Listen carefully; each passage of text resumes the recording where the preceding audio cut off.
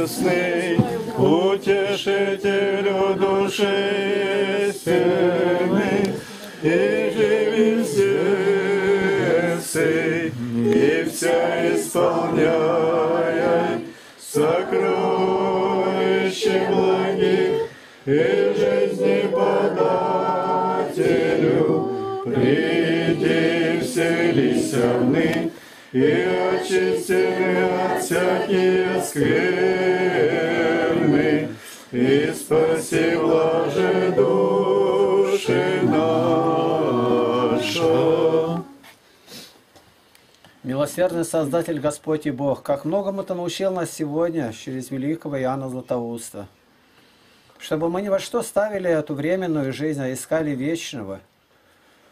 Приведи нас к этой желаемой пристани всех, не дай обольститься этим временным миром и подражать ему. Прибудьте в этом собрании, исполни нас благодатью Духа Святого, чтобы мы не искали своего, но того, что служит к прославлению Твоего святого имени. Благослови брата Иакима, болящего Иоанна. Тебе слава за все, Отец, Сын и Святой Дух. Аминь. Аминь.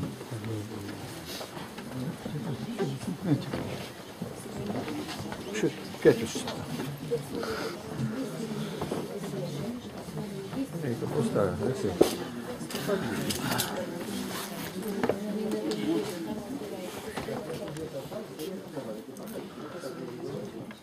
Братья и сестры, радостно видеть, что сегодня у нас скамейки почти все заняты. И вчера даже, как бы вот, народу побольше было, да. Ну, закончился дачный сезон, видимо, поэтому дачники и дачницы здесь с нами, слава Богу. Алексей вернулся путешествующий, слава Богу. Брат вот вернулся из тайги от медведей своих. Дом закончили, уже, ну, настолько еще не совсем закончили, но вернулись они уже, вер- вернее, переехали уже в новый дом, живут, слава Богу, там. Еще обустраиваться был. Ну, как Господь позволит, да. Вот, Валентина Павловна всем передает поклон, ее прооперировали в четверг. Вот, ну, вернее, в пятницу прооперировали, да, в пятницу ее прооперировали. Ну, а там операция небольшая, так, но все равно для ее возраста любая операция есть операция. Вот. Ну, лежит, молится, прославляет Бога, благодарит всех за молитвы, всех, кто посещает ее. Вот. Кого еще у нас нет сегодня? Кубайкина. Кубайкина заболела, позвонила. Она вчера была, сегодня заболела. Зоя Шубина вчера поздно уже звонила, что в Ну, Горном погромче Алтае. можете говорить. а Шубина в Горном Алтае позвонила. Так, Цингаева с внуками сидит сегодня. Нету. Кубайкина вот болеет, я Ну, сказала. она вчера просила молиться, Да, она мухи приедут в понедельник, поэтому молитесь и в понедельник возвратится Надежда с чадами. Ну и все, и вот Галя с Сашей завтра едут за детьми в деревню. Тоже молитесь за них. Маргариты не было вчера, по-моему? Маргариты не было, она сегодня. А я хотела ей сказать, тут э, это, Люба уже давно передала, две недели посылка послать Свете Зайнудиновой. Могли За сами позвонить. Могли сами послать. Я, выходит, Тань, как перевалочная база. Да. Я же посылаю на свои деньги посылки, но почему вы кому-то не послать? Ну, Понимаешь? Она из Потеряевки что пошлет? Она попросила тебе, я откуда А, знаю? понятно. Тебя попросили, Понятно. тебе посылка. Ссылки все на меня. Так, еще кого нету? Вот Надежды нету, Надежда Афанасьевна. Что, болеет? Она с двумя больными, поэтому когда она может, она вырывается, Понятно. когда не может никак.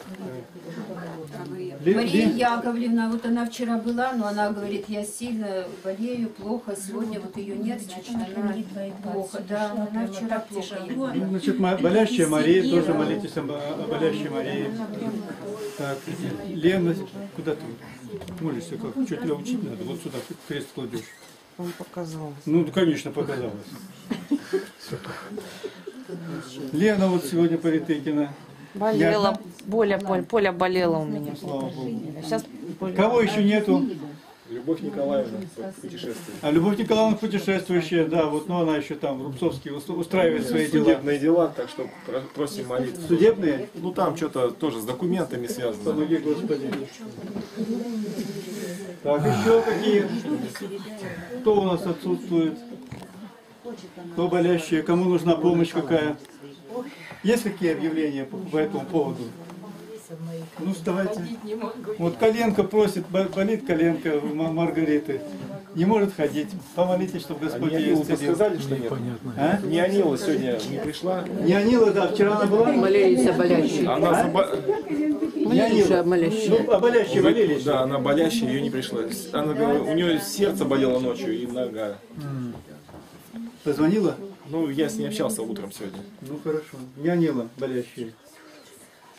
Еще кто? Всех? Да? У меня голова постоянно болит, а работа очень серьезная. Помолитесь, чтобы я там нигде не ошиблась. Помоги Господи. Очень серьезно. А ты где работал? Вам слово. Батюшки нет. У нас должно было в октябре произойти годовое собрание. Ну, он заболел, ну а без батюшки собрание какое? И Оно не может быть даже, пока он есть. Поэтому а, объявляется согласно уставу за месяц раньше, а мы объявили за 10 лет раньше. В октябре, первое воскресенье, или когда вот после 10 там. Поэтому, знаете, как батюшка приедет, то воскресенье сразу за, за его приездом он скажет и годовое собрание. Что-то приготовьте, какие-то подарки какие-то предложения невещественные, духовные. Вы сегодня столько слышали. Вот когда читают проповедь Иоанна Златоуста, батюшка их сокращает нещадно. В 10 раз примерно. А сегодня, я гляжу, прочитали как положено. У него проповедь у Златоуста в среднем 27 минут. Я уже перевел на греческий язык, посчитал, как он говорил, но не скороговоркой. Или 35 минут, так в среднем у него где-то колышется. И гляжу, уже, как говорится, закимарили. Дети там сидят, ну, конечно, для детей трудновато. Чтобы не хватались за эту временную жизнь. Простое дело, вот дети, Бог дал дети. Набьется туда куча все мамки. Ну, одна кормить, как яслях это делать, остальные идите сюда. Вот оно, где начинается отпадение. То есть дела вообще не интересуют, и разницы нет, куда я пойду. Хоть где пристану, к любому шалашу. А потом, говорит, спрашивает случайно, где-то Репиной не видно. Она уходила, приходила, и вообще не придумаешь даже, ты что ушла-то из общины? Вы знаете, что она ответила-то? У меня дома ад. У нее дома ад. Почему? Сын убийца, отсидел, вернулся, ясно дело, что он там делает. Можно догадаться. И она говорит, когда я прихожу сюда, я как в раю.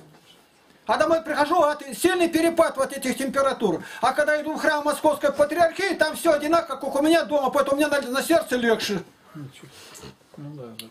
Это чисто мирской рафинированный ум. Чтобы у нее перепадов не было. Этот самый перепад будет потом.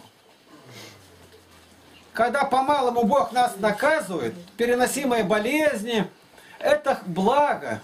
Но когда Бог отвергает долгое время, говорит, долго терпит, да крепко бьет, есть поговорка. И бьет так, что опрокидывается все, горит и дымится, и пыль до неба, и дым. Как Октябрьская революция. Бог, Бог долго терпел Россию.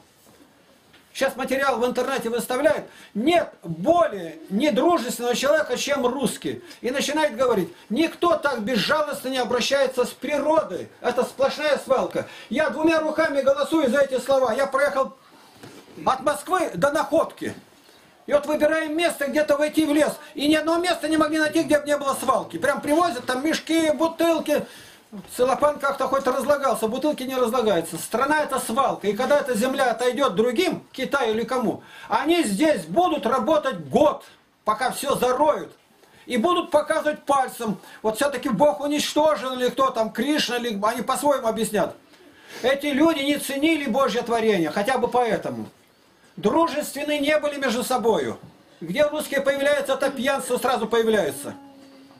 И целый список выставили. И самое, говорит, главное, что русские это все знают. Ну все же знают это. У нас была еврейка. И она говорит, У евреев примерно за 3000 лет, ну как история говорит, не было ни одного ребенка неграмотного. А у нас ликвидация безграмотности, ликбез, еще при советской власти. Да у царя-то школы-то начали приходские строить, когда уж, ну не за 300 же лет-то. Ни одного еврейского ребенка нет неграмотного. И вы не видели, чтобы еврейский мужчина лежал где-то на остановке, из-под него лужа текла. Я подтверждаю это так. Нам надо учиться и учиться непрерывно. У других народностей, если свое потеряли.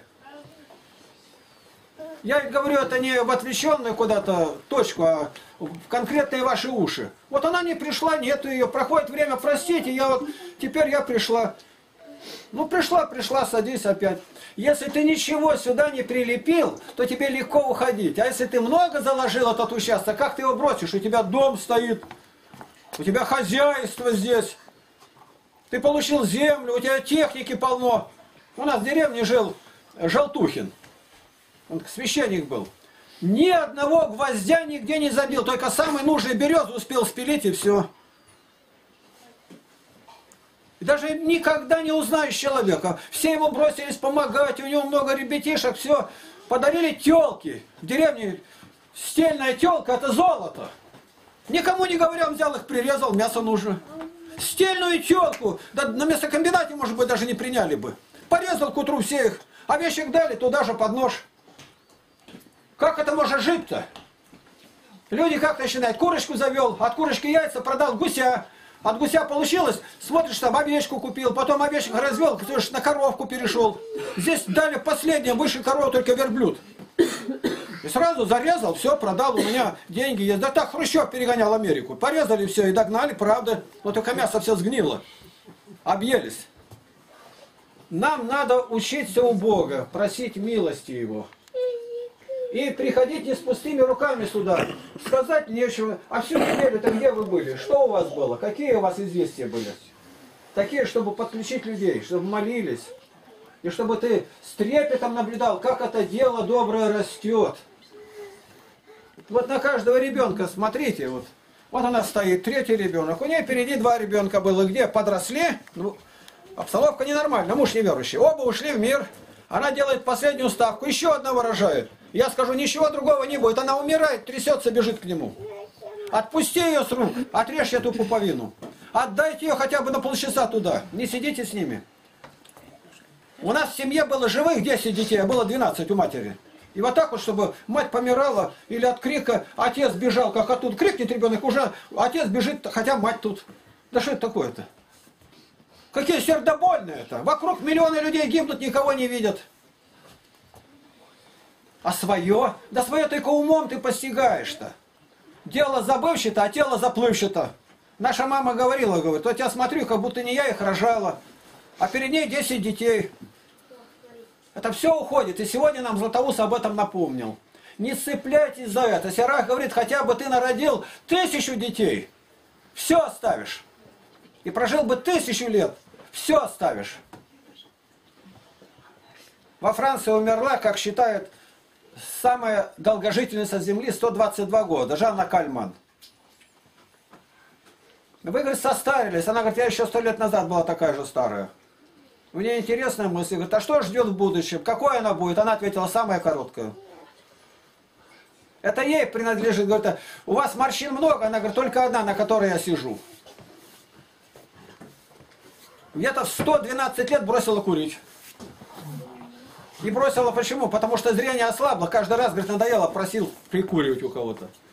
А если бы она Бога-то знала, да за 122 года сколько можно было людей-то просветить евангельским светом?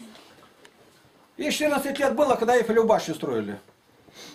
Ван Гога знает, пришел, как он одет был, все рассказывает. Эти люди передают мирские события.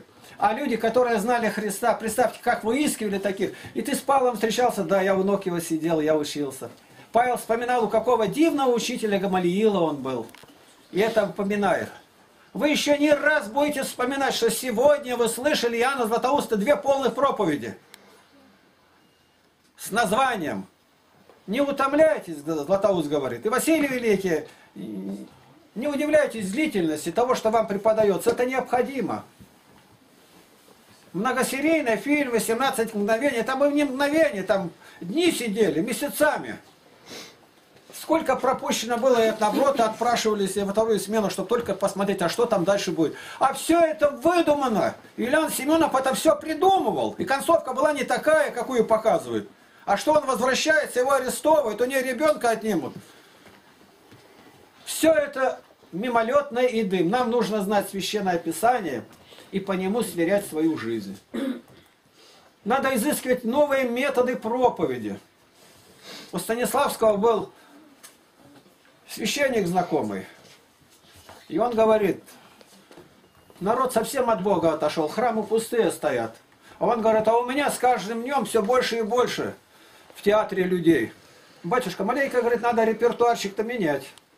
Надо смотреть, какое время, каким языком люди разговаривают, и ну, вносить свои какие-то элементы, чтобы людям быть, было понятно это. Я думаю, как. Ну, по милости Божией, нынче год был удивительный. Вот как нас намечено было, я говорю, мы сделали и по расстоянию, и по посещаемости ровно в три раза больше, чем было намечено. Почему? Мы не знали, как это будет. Сейчас мы знаем. И уже конкретная программа. Мы уезжаем до июня на три с половиной месяца. Мы знаем, сколько грузу надо взять, семь с половиной тонн. Мы знаем, сколько денег на это надо, когда весна нынче была, в 2012 году, мы ничего не знали. У меня сейчас стоит средство нужно, а у меня ничего нет. И шофер, один, видите, вот он рядом сидит. И он говорит, один не поеду. Он заявляет, как враг. Если не пойдет Девора на фронт, то я не пойду. Пусть Израиль в плену будет. Давай сам подыскивать напарника, совместимость характеров. У нас была совместимость, совершенно несовместимая в последние самые длительные поездки. Шоферами были вот он, Игорь Третьяков. Совершенно неожиданно у него там какие-то заморочки на работе были, отпросился. И Вадим, которого с места не сдвинешь, ничего подобного.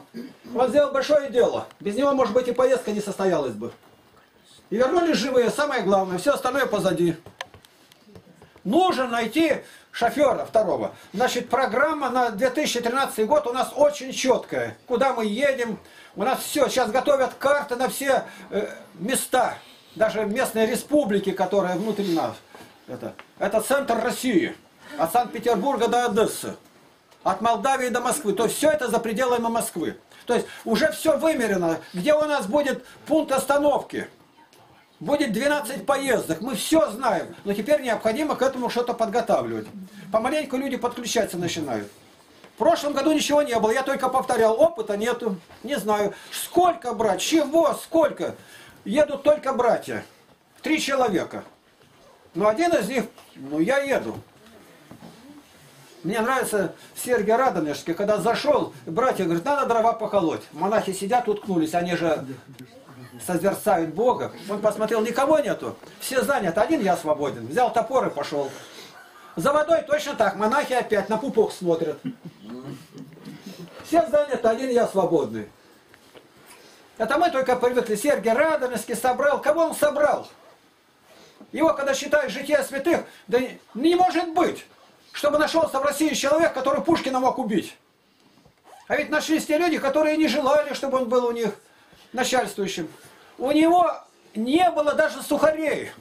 И ни один монах не подошел и не сказал, отче, возьми, вот у меня сухариков тут 12 мешков насушил. Люди-то приносят. И он тогда идет и говорит, братья, кому может поработать надо? Есть охота. Молчат. Один говорит, да мне вот надо сенки срубить. И он берет топор, рубит. И он дал ему самое заплесневое сухарей. И когда он ел, написано, изо рта шел дым зеленый, стриптоцит. А братья стояли и смотрели. Они смотрели на его рот. Ну какое же это состояние-то людей было? Они стояли и смотрели, и когда увидели, что он есть плесень, ни один не принес целого сухаря. Это его житие. Это мы привыкли сегодня говорить, вот он был такой и привел. Неизвестно, привел ли он кого. Я вам столько рассказываю примеров житийных. Поревнуйте им. Павел говорит, подражайте мне, и в ком видите этот образ. Надо ревновать об этом. Не написано, когда умрете, и хороший будет наставник, режь его по кусочкам разносить. А написано, подражайте вере, взирая на кончину. кто проповедовал вам Слово Божие. К этому надо стремиться. У нас программа есть уже почти оформившаяся на 2014 год. И этим мы заканчиваем, потому что у нас ничего уже не будет. Я говорил, какая программа? Значит, нужно найти крупного спонсора, чтобы дал нам иномарку, временное пользование или постоянно, с такой же грузоподъемностью до одной тонны. И центр у нас будет Берлин, да и доходим мы до Португалии, опускаемся в Греции, под Ла-Маншем и в Англию. Потом идем на Скандинавию, Прибалтика возвращаемся. Уже сегодня будем говорить о визах. То есть сегодня это абсолютно кажется нереально, как вот нынешний год тоже казалось нереально. Мы за 150 километров боялись тележного скрипу. А тут в одном направлении двинули, Владивосток, находка. Насколько достоверно, не знаю, будто бы батюшка буркнул безумие. А потом стал всячески помогать. Притом самый, может быть, главный помощник. Он, видимо, испугался даже. Но и мы-то боялись. Я все еще вижу во сне, как мы едем. Не могу выйти из этого состояния. Все еще вздрагиваю. В какие попадали ситуации. Но, Бог милостив, мы должны просить, чтобы посеянное возросло. Сегодня я приготовил письмо. Сестры должны отправить. Э, но это в Новосибирске приезжал Булатов Алексей Владимирович, их директор, и они тоже нынче ездили, и он описывает, как прислал мне, и ему туда письмо, как мы. У них точно так же, много было желающих, но чем ближе говорит, подходило время выезда, число добровольцев уменьшалось, и остались только трое, как у нас. Дальше самая была трудность возвращаться за новым грузом, это и у нас. Я посмотрел, настолько схоже у него, говорит, я даже хочу, говорит, вернуться опять в некоторые места. Даже лай собак слышу как. Это все у нас, а у нас целые посохи от собак. В общем-то, оно схоже, да, у них не так идет, но они крупные издали, с крупным шрифтом Евангелие, Нового Завета там дарили. Ну, ясно дело, он показывает цифры, называет там деньги, которые тратили, для, для нас это не, не цифра. Если мы подарили на 3 миллиона 150 тысяч. Прикиньте, 222 тысячи на бензин. Прикиньте стоимость машины. Это чего-то стоит. Больше половины стоимости, которую я называю из этого, полностью висит на мне еще. Никто еще пока ничего не вносит. В это имейте все время в виду. Больше половины этого, что я назвал из стоимости, пополам отрезайте, лежит на мне. Я сейчас занимаюсь, меня об этом давно просили, издать отдельно книги стихов. Но ну, я за, зашел в тупик и уже с редакцией, с этой, с типографией, с Горно-Алтайском, с директором созвонился. Э, книги будут не одна, а две, по 1200 страниц. А оказывается, техника в пейсмерке больше тысячи страниц не берет. Мне надо идти сейчас в типографию и спрашивать, как делать. А если нет, значит придется рубить, и тогда три книги. Я не знаю. С фотографиями закончил только сегодня утром. Называется вот это отдельно. Тут фотография, там 16, там сейчас по 16. А в тех книгах были вклейки по 8. Получилось, если все войдет как есть, 1100 фотографий появится в книгах. Вы понимаете, что это за цифра? Больше тысячи стихо... трех тысяч стихотворений будет напечатано. Каждому стихотворению я оставлю эпиграф. Заново читаю. Сам в первой книге, первой книге, которых буду сам и корректором. Никто не взялся слишком трудно, и там смысл такой заложен, то ли двоеточие, то ли тире ставить. А от этого сильно все меняется. Мне нужна помощь. Помощь, в первую очередь, молитвенная. Я ложусь намного позже, а встаю, как всегда, в 4.40. Я посмотрел, каждый день я за компьютером примерно по 16 часов. Усиленные работы. Мне некуда не смотреть ничего, успею только ответить кому и... Но работа пока идет и очень быстро. Ну, удастся ли ее сделать? Я говорю, что я не специалист, я печник. А раз режность зашла о печи, то скажу, что вот Надежда Васильевна, вот она, она решила, как в песне поется «Я с тобой переиграю молодость мою». Она бабушек принимала, специально мы купили до, квартиру здесь на Никитина 147, квартира один. И она их там собирала, это храм был один, Покровский, с разных районов приезжали, у нее там 20-25 бабок было. И она снова решила у себя здесь такой же устроить ну, пожалуйста, мы пришли. Вчера, вчера мы я уже с печкой занялся. Тут это моя стихия. Володя, наверх. Он пошел чистить, разбил, все, пять ведер сажи только вытащили. По-новому все теперь. Начинают. Все сделали. Дальше сестры побелят. Электропроводка вчера говорил, кому, ну, кому нужны матрасы, приносить одеяло. Я дам подушки, могут привезти, если нету своих. Ну и под моим контролем только будет. Никакого самовольства не будет. Наипервейшее это не играй с огнем. Кто главный топить будет, как смотреть. Миша, найди потопочный рис 50 на 70 сантиметров. У меня нет его. Там маленький. Там даже на линолеуме прогары есть. Это не годится. Мы должны создать полную безопасность. Второе. Тщательно закрытые шторки. До уровня головы две. Повыше одна. Ну, как вот у нас здесь. Как вы будете там питаться, чем я могу, я помогу. Кто-то постоянно будет жить, это будет. Кто-то только с субботы на воскресенье. Ну, правила я вам выдам. Они очень простые, не во вред. Потом. Не забудь, что хотела сказать. Вот. Если печь отремонтировать, тут я могу, а в электронике это я не понимаю, поэтому я прошу Алексея, Витю, ну не, покидайте меня, помогите, зайдите. Я когда ставлю, она, куплет это идут так, куплет маленько подальше, и ступенька, она, машина сдвигает в одно, сдвигает от краю, и я не могу по одной строчке, теперь я должен сдвигать. А по одной строчке тысяча страниц, это 42 тысячи строчек. Ну надо догадываться, что со мной будет там. Из меня уже дым идет. Мне нужны помощники. Это, это все для блага. В каждой книге, если только это будет три, а не две, тысячи примерно мест священного писания. Это чего-то стоит. Там все, все будет божественное. Ну, я не поэт, поэтому коряво, плохо, но более-менее в стихах, как говорится, белым стихом написано. На очень важная тема. Алексей, голубчик мой, не покидай меня. Сейчас зайди.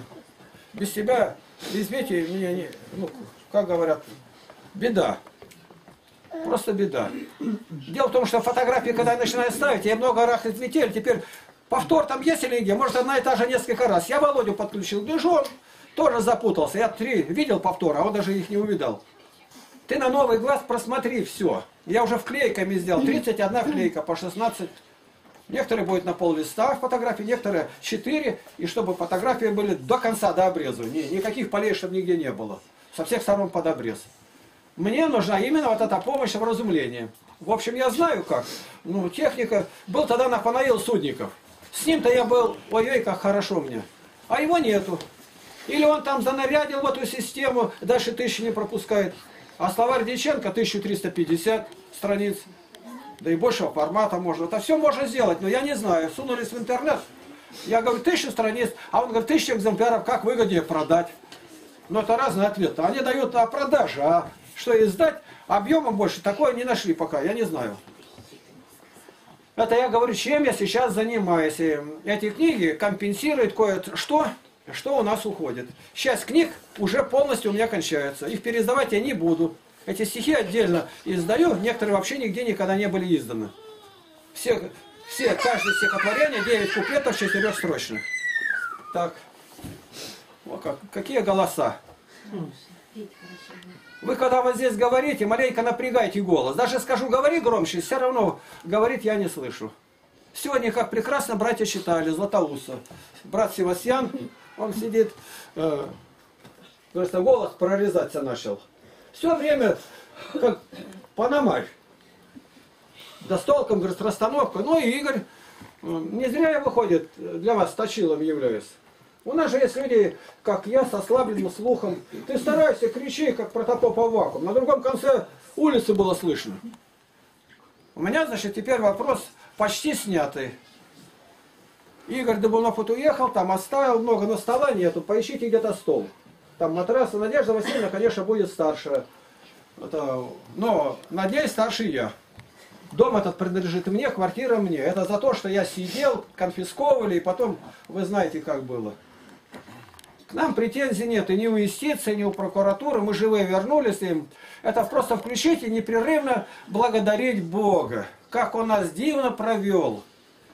Я не могу даже на молитве выйти из того состояния еще, где мы были, как мы ночевали. Уже темняется. Страстно сойти нельзя. Ну куда спрятаться? Куда? Нет, маленькая площадка прямо около дороги. Ну сдвинулся маленько, рядом машины проносятся. У нас она не горит сзади, осветительная там фонари-то. И мы здесь же вытащили, дождь идет, и тут же обедаем сидим. Чуть-чуть не рухнули. Взяли траву, машины скосили, и Игорь, кажется, кто там был? Хотел дальше, потом остановился. Оказывается, они скосили, а дальше обрыв идет. Она по макушкам. А когда едешь, кажется, ровное место. Выше, а тут кювет. На расстоянии шины одной остановились. И решили больше никогда ни сантиметра не сдвигаться, пока не пройдешь, ногами не прощупаешь. Надо эту картину видеть. Машины освещают, сидят бородатые какие-то дядьки, обедают, дождик моросит. Что это такое? В горах. Даже поесть негде было. И все это позади. Уже идут известия. Просят даже кое-что им показать, что мы сняли. Мы не знаем, какие будут плоды и какие отзывы. Но э, просто такие отвратительные отзывы Кемеровской епархии больше нигде нету. Не встречаю. Может быть и были где-то. Нам это неизвестно. И я думаю, узнавать не надо, как будет. Сеющий, поливающий, ничто. Все, Бог возвращающий. Мы на свободе, мы вернулись, мы целые. У машины какая-то поломка внезапно случилась. Я прошу эти два Николая у нас тут, Кручина и Польгоев. Луж, пожалуйста, подключайте там Игоря, Глушкова, Барабаша, что требуется подварить, сделайте. У кого книги, которые первые были на, на дому, не, не, не вот где я хранил книги, поднимите руки. Значит, мне полный список и все сюда привозить. Мы будем отправлять, видимо, контейнером отсюда. Опять нужны будут деньги. Деньги. Ищите людей, ну, богатеньких таких. Я не отступлюсь от издания книг, но и дальше не надо забывать то, что у нас есть. Что мы делали. Это просто необходимо. Иначе мы остановились на одном месте, у нас никакого ни движения, ни развития не будет. Вы оцените то, что имеете. Вот эти занятия. Э, некоторые никогда не остаются. И не потому, что заняты. У одной муж больной, муж умер все равно, будете бежать домой. У другого там еще какая-то причина. Причина-то не в этом. Любовь движет горы. Ну, сдвиньтесь, переломи эту обстановку. Скажи, я не была, но сегодня я остановлюсь. Сегодня я попробую, я побуду. Да мало того, записывай. Я вам ставил пример фамилия его Лютых, Георгий Иннокентьевич, слепой, шестилетнего возраста, полностью слепой на сто процентов. И как он развил свою память, мой разговор на пленке услышал с Атом Дмитрием Дудко, это из Камска, за Красноярском. И сюда приезжал три раза, слепой. Один раз по поводырем, а два раза один. Чтобы побыть вместе, насладиться, как он говорил, беседой. От меня узнал отца Геннадия, поехал туда. Отец Геннадий, магистр богословия, бывший преподаватель Томского университета, и мне говорит, я не мог найти границы его знаний дяди Гоши. Я к нему поехал, беседуем, он говорит, а вот первый перевод был, или в Острожской Библии, там так, полез под стол, достает, я считаю, он цитирует Острожскую Библию. Да я ни одного слова не смогу сказать. Еще что-то полез, достал, взял, все так вверх ногами перевернул. Вот как тут это по Брайлю читают. Какие стихи печатал он, печи делал. Дом построил совершенно слепой. Человеку столько Бог дал. И он как пример был, он уже отошел. Он отошел, например, я вам передаю. Подражайте ему. Он на службе руководил клиросом всем. Жития святых я знаю.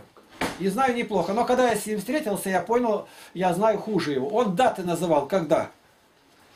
Это 1173 даты.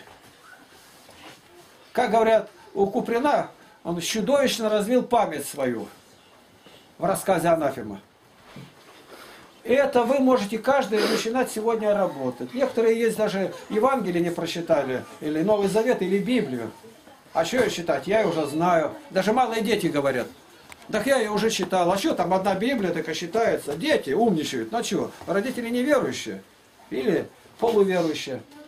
А у меня знакомый священник из баптистов говорит, а я знал баптиста, он прочитал Библию от корки до корки, 66 книг, канонические, сто раз. Сто раз. Он знал ее содержание. Это вам просто я говорю. Ну, ну, в сто раз хотя меньше сделай, один-то раз посчитать ты должен. Сегодня так удобно, это и начитанное можно слушать на, на, на дисках. Э, это все доступно каждому человеку. Потому что рано или поздно мы уйдем из этой жизни. С чем мы предстанем? И вот говорят, обмирали люди, я сколько считал про них, все говорят одинаково. Когда было время ему возвращаться сюда, они не хотели возвращаться. Им, они не, не райскую жизнь наследовали, но им показано было рай, чувство наслаждения, которое там. И они не хотели сюда возвращаться, хотя здесь их любит мать, как ребенок. Это житие святой Клеопатры, Уара. Мать плачет, подает, он явился и говорит, не надо этого делать, мне здесь хорошо. Молодой офицер умер, ну, кадет, кадет был, по тогдашнему сказать. Там не видел глаз. Это надо понимать, смиряться. Я смиряюсь, я могу сдачи дать, но я этого не сделаю. Я могу тебе так сказать, слезы потекут. Оскорбить могу, как хочешь, но я не сделаю это. Вот так, повторяй себе. Я этого не сделаю, потому что я люблю Господа, я себе не принадлежу. Я это стараюсь для моего Господа. Вот кто думал здесь оставаться, к Надежде Васильевне сейчас же пойдите, посмотрите. Она там, рука у нее не движется, что-то надо помочь, сейчас мыть, белить. Там, все подойдете к ней. Минутку еще. Подойдите. Это так радостно быть вместе. Она сегодня как обновилась. Она томилась тут с нами. А тут она вырвалась на свободу, гляжу, сияющая приходит, как будто помолодела на два дня. Уж не на 10 лет, как говорят. У батюшки ничего там не известно. Там голос, голосок веселенький был. Ну, что он, как понимает, так он понимает, уехал. Может быть, так и надо, тут я не знаю. Марина-то его тут прикормила, он у меня за стол не садится. Теперь надо думать, Надежда Васильевна, привечай его, Марина, передай, ты уж тут его Да мы его с собой, приводил, он ко мне мы даже его не с заходит. собой заберем. Вот. Э, То, что нам Господь позволяет сегодня о чем говорить, завтра этой возможности может не быть. У меня есть кое-какие сведения. Э, А Нищенко есть такой. Он- я беру только с интернета. Это главный санитарный врач страны. И он внес предложение президенту Путину, чтобы ограничили доступ детей в храмы. Если за этим что-то воспоследствует, это будет что-то. Он, может быть, со своей стороны, что дети ничего не понимают, а так приходят всякие бомжи, что, может, ну, он как заботится о безопасности людей, может быть, у него какое-то обоснование есть, но это не обоснование детей не допускать в храм. Они дети-то в детсадике идут, они на улице, они в трамвае, они по улице бегают. Нет. Как-то было, когда стали закрывать, какая-то там эпидемия была, и тогда был архиепископ Павел Новосибирский, и он был в Прокопьевске. И пришло, ну тогда власть большую силу имел на церковь, э, прекратить временно открывать церковь, потому что зараза распространяется, то другое. Он говорит, рядом клубы у нас есть, кинотеатры, пока все не прикроете, церковь я не, не прикрою. У меня есть, говорит, на открытие храмов, освящение, молитва, а на закрытие у меня молитвы даже такой нету. И все, отступились. А у меня документ в оригинале был. В оригинале, который там поступил, а там работали бухгалтера, они мне этот документ оттуда. Я его поместил даже где-то в книгах. Поэтому цените настоящее время. А оно таким не будет. Не будет, поверьте. Закрытый процесс над Хвачковым вот должен начаться сейчас. Готовили, он готовил вооруженное восстание, из оружия нашли у него такой старый арбалет. Это в Англии стреляют из луков. Но так нет, Бог его знает. Но эти люди, он полковник ГРУ, хорошие люди, кого патриотов арестовывают, это не безразличные люди. Многого они лишились, пошли. Испортили биографию, испортили, как Душенов. Ну, для по-мирскому. Но это наши герои в настоящее время. Герои, они от многого отказались. Мы даже не знаем, должны все время их нести на руках молитвы. Помоги хотя бы душевного, поминайте Константина, но остальные и все, кто страдает по этой 282 второй статье.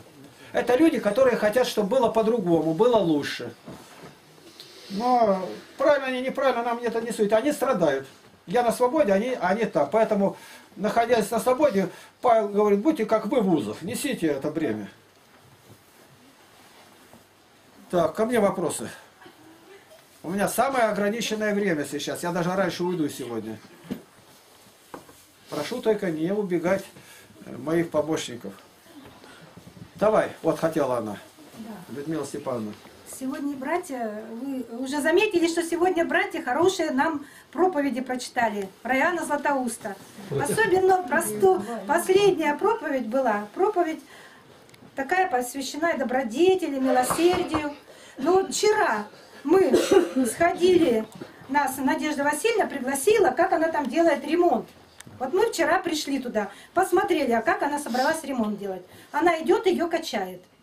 И я прошу тех, кто прожил там 10 лет, Игоря и Мариночку, чтобы они хотя бы сделали обычную косметический ремонт.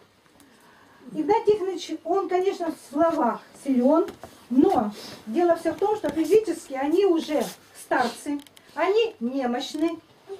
Будьте проявите добродетель и милосердие к этим старцам, которые вам позволили там прожить 10 лет. Проявите милосердие. Окна нужно помыть, очистить их от краски и покрасить. Кто будет красить? Старцы, которые будут жить ее от одного запаха, это самое. Я считаю, что Надежда Васильевна вот как-то отказалась, они ей предложили. Предложили ей. Она говорит, я сама. Она сама ничего не может. Она сама может словами сказать, но она ничего не может. Понимаете? И поэтому вы, молодые еще люди, они для вас как отцы и как мать, она в матери вам годится. Я думаю, обычный ремонт, просто обычный, побелить, покрасить, и почистить окна, и их тоже покрасить. Это нужно, то, что не под силу Надежде Васильевне. Она, я за руку ее взяла, она, что ты меня берешь, ее трясет. Она ничего не может физически делать. Она ее ходит, она шатает. Игнатий физически ничего не может делать. Он может только посоветовать. Поэтому вы уже на них э, смотрите, что они сказали. Нет, нет, нет, мы сами. Ничего они сами сделать не смогут. Поэтому я думаю, что вам нужно и красочки купить, и звездочки купить, помыть окна, вставить окно, которое там вы выставили, допустим, и это сделать. А то, что начнется дальше, она благоукрасит, она там это самое, стол может там купит, это все она сделает. Она не сможет ремонт сделать. И старицы, которые там, она будет приглашать, те их тоже вот так трясет, они ничего не смогут. Они от краски могут еще месяц туда не заходить, в этот дом. Но в данный момент там жить невозможно, понимаете? Игорек, я прям тебя прошу проявить добродетель и милосердие на тему, которую ты сейчас я читал, Иоанна Златоуста. И косметический ремонт. 10 лет вы там прожили, сделайте хотя бы, пожалуйста. И вы не думайте, что Надежда Все уже, это повтор. может. Людмила Степановна, я обязан просто сказать так. Э, Ты-то меня задела, я бы, может, и нету. Раз вы меня задеваете, я сказать, он ничего не может, как-то не может. Я сделал самое главное, что ни один не может делать. Вы можете да, покрасить, да покрасить, это что там, там любой бомж покрасит.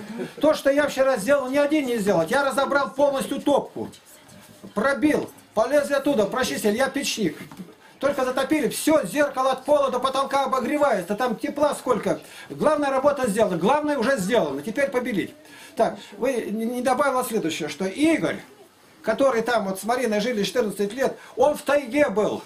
Он только-только вернулся, и Марина вообще одна, не, она ничего, она и говорит, его нет. Я поясняю, ты все сказала правильно. Но тут надо небольшую поправку сделать. У меня претензий к ним никаких нету. Дело в том, что он строит дом, у него там столько, входит в зиму, приехала теща, там родители будут, у него столько еще дел, он вчера рассказал, и везде деньги дерут ни за что. За энергию дополнительно еще 7 тысяч сгладили с него. Поэтому даже стекло, которое выставили там, э, я, конечно, ни- никогда этого не делаю. Ну, вот это что-то нет, даже доской можно забить, чтобы такое там пропенить и все. Вы придите, кто может там. Там невозможно жить, можно жить. В сторожке люди живут в Охотницкой. А здесь что, крыши, стены, от меня через стенку, это вторая квартира-то. Ну, ну, все там не может. Сейчас давайте пыль только уберем. Ну, не надо, зимой не красить, не красить. Не красить зимой. Вот там обдирать сильно не надо. Посмотреть, что возможно. Когда вы уберете только пыль, помоете, сразу увидите. Ну, на окнах там красивые шторки повесьте, как у нас. Посмотрите. Относительно того, надо нет эти стеллажи делать, ну тут на консенсус, как говорится, пойдем уже. Она, Надежда Васильевна, согласилась в одном месте. Кто-то, говорят, раскладушки привезете. Игоря не трогать. Не трогать его, потому что э, он просто физически не может. Мне легче, чтобы только помыли и вообще ничего там не трогали. Мы же приходим туда жить. Значит, вот такая моя поправка будет. Можно я скажу? Да.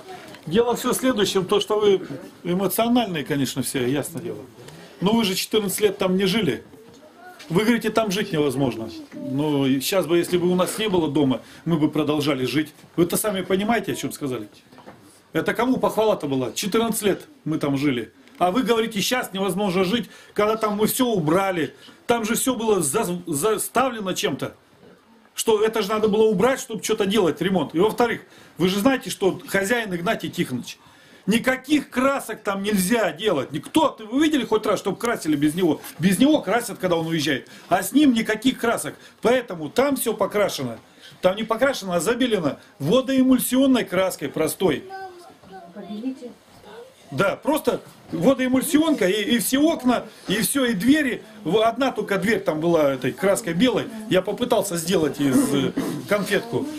Но там рядом печка, поэтому она вся стала черная, вы понимаете? Я ничего сделать не могу. Там такой вид, потому что печь рядом, и это все стены, вот эти тенета и так далее. Вы думаете, я хожу и специально э, дизайн навожу, что ли, чернотой?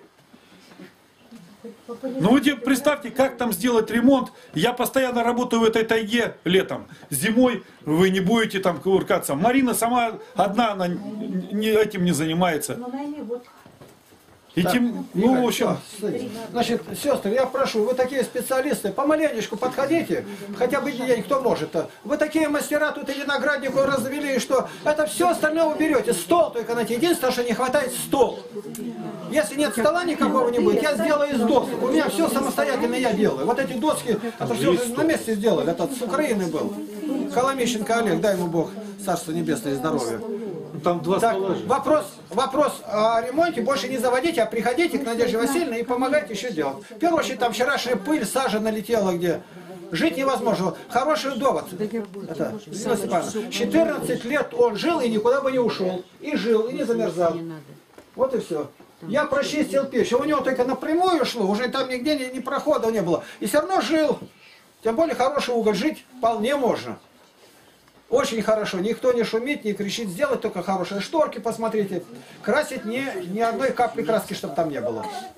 Категорически против. И стекло вставить, я Мишу попрошу там, или забить ка- картонкой, там, Да которую мы выставили. ставим стекло, все это. Потерялось одно. Это Вот и все. поставим стекло. Главное в доме это стены и печь. Запомните, крыша, чтобы не протекала. Крыша не протекает. Ну, нормально. Все как есть. У меня всегда к вам, когда встречаюсь, просьба. Вот мы говорим, вы до дверей доходите, не забывайте некоторые, о чем мы говорили. Вы живете напряженной жизнью. Мы говорили о, о делах, которые не каждый делает. Нам нужна сейчас помощь. Помощь, ну ничего нету. Чтобы Бог показал, кто может быть нам помощник. Чтобы выше на этих людей. Я завтра выхожу из дому. Я сижу недвижимый. Но завтра я пойду, меня нужда заставила идти. Иду завтра в типографии. И не в одной типографии буду, знакомиться надо. И чтобы двери Бог мне открыл. Это я начал, я заранее говорю, никакой помощи не будет. Издавать книги такие, или уменьшить тираж их до 500, тогда каждая книга чуть не в два раза дешевле, дороже будет. Я не знаю ничего в этих вопросах. Но книги будут изданы, если это Богу угодно. Игнатий Тихонович, Игнатий? Тихонович, если вы завтра пойдете, вы наткнетесь везде на закрытые двери. Завтра выходной день. Вот как. Виноват. А, а что, в честь чего? Сегодня государственный праздник и переносится завтра на, на завтра на выходной день. Ага. Значит, а во вторник можно пойти? Да. Благодарю. Ну, я сижу, ничего не знаю. И все. Ну и жарко не топите. До приезда Надежды Васильевны я еще ни разу комнату не топил. Дыханием. Компьютером греемся. Бог милует. Вопросы ко мне. Задавайте вопросы, пока я перед вами. А то я сейчас опять закроюсь, и ко мне не достучишься. У меня телефон рядом звонит, стационарно, и рядом мобильный, я не слышу. Рядом, на расстоянии вытянутой руки, я не слышу. И притом я от этого никакого недостатка не имею. Люди имеют не, неудовольствие. Ты еще не слышишь? Не слышу. Понимаешь? Ну, я даже не, мне не надо ничего. Это как раз то, что мне надо. Я отвлечен от этого мира, я в другом мире нахожусь. Все. Если ничего нету ни у кого, вы начинаете работать. Я говорил Сергей Павлович Пупков, начинай искать место для занятий. Без меня. Я находил место занятий, которое было летное училище, высшее авиационное, пять университетов, школы, в воинских частях. Трудно найти место, где бы не вел занятия, а где-то регулярно, постоянно. Технический университет, крупнейший, наверное, в Сибири. 21 тысяча студентов могли заходить. Только их не затянешь туда. 17 лет там провели занятия. И как был расположен ректор, проректор, как будто родные братья. К нам приходили здесь, и видите, как Бог устраивает. Теперь без меня это сделайте. И когда будет около 30 человек посещаемость, тогда меня позовете, я приду. Ну вот и у меня все. Ничего нет, давайте Бога поблагодарим. Оставайтесь петь будете и обедать. Занятия. Занятия обязательно будут сегодня. Положите Тя Богородицу, Пресноблаженную и пренепорочную, и Матерь Бога нашего, честнейшую Херувим, и славнейшую без сравнения Серафим, без истления Бога Слова родшую, сущую Богородицу Тя величаем. Милосердный Создатель, хвала Тебе и слава за долготерпение и милость Твою, которую Ты оказываешь нам. Сохрани это место от пожара воров нечистой силы и селения наше. Найди новые души, добрых насельников, знающих Тебя, имеющих страх перед Тобою. А буйных сам укроти, препятствующих благовестию священников вразуми. Пошли мир этой земле еще, доколе можно. Потерпи нас, Владыка, благослови правителей страны, патриарха, епископов и священников, чтобы искали Тебя, ибо отдавать отчет по Слову Твоему, чтобы не по вымыслам человеческим вели людей, но по истинному откровению божественному. Дай каждому, кто не имеет духовное рождение свыше, чтобы мы были всегда водимы Духом Божиим и наследовали жизнь вечную. Хвала Тебе за все, Отец, Сын и Святой Дух. Аминь. С миром Божьим.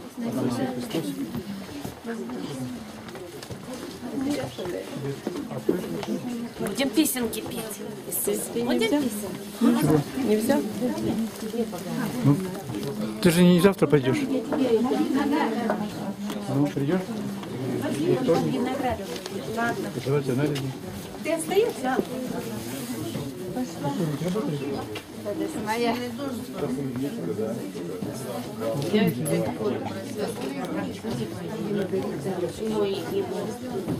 ту неделю вот я вас отвезу. Мы ворота обшивали, а мама с ней сидела. Я